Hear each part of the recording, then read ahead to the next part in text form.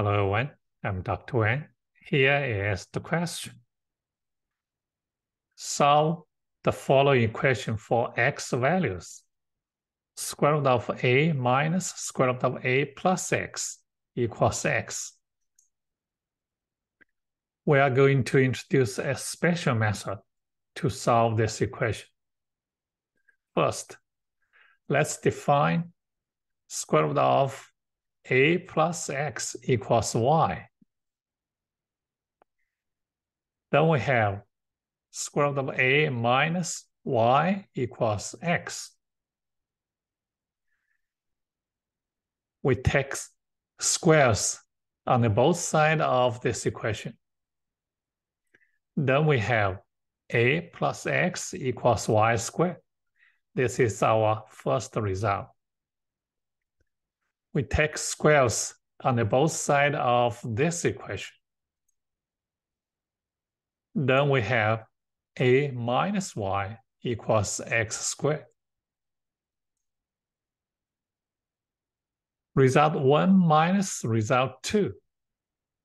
Then we have x plus y equals x, y squared minus x squared.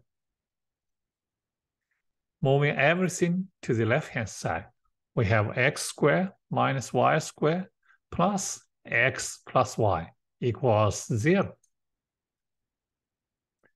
x squared minus y squared equals x plus y times x minus y. Here, x plus y is the common factor. For the left-hand side, we can factor x plus y out.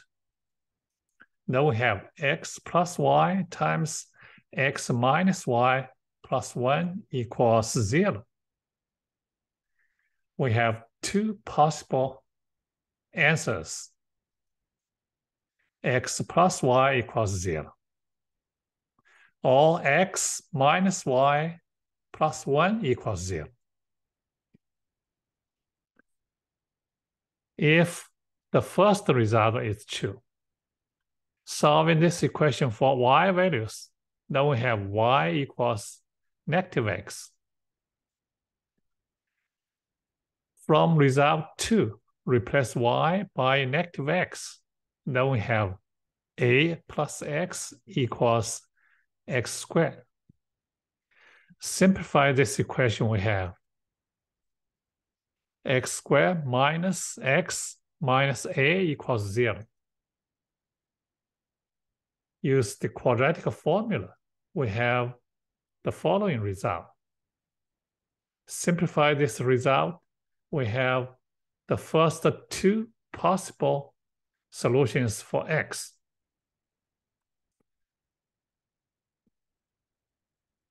If the second result is true, solving this equation for y values y equals x plus 1. In the second result, replacing y by x plus 1, then we have a minus x plus 1 equals x squared. Simplify this equation. We have x squared minus x plus 1 minus a equals 0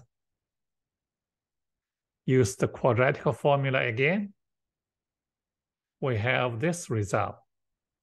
Simplify this result, we have the third and the fourth result for x. In summary, we have totally four possible answers for x. That's all. Thanks for watching and see you next time.